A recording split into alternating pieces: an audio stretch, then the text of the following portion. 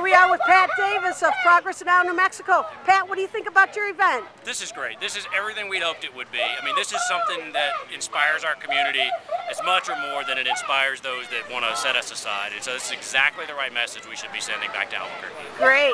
Have you had one of the sandwiches yet? These are great, actually. I had one this morning at Roma. It tastes like Chick-fil-A. So we now have a hate-free alternative in Albuquerque at the Roma Bakery and Deli downtown. Wonderful. Thanks, Pat, yeah, for all Bruce you do. and Oscar are great. Thank you. Bye.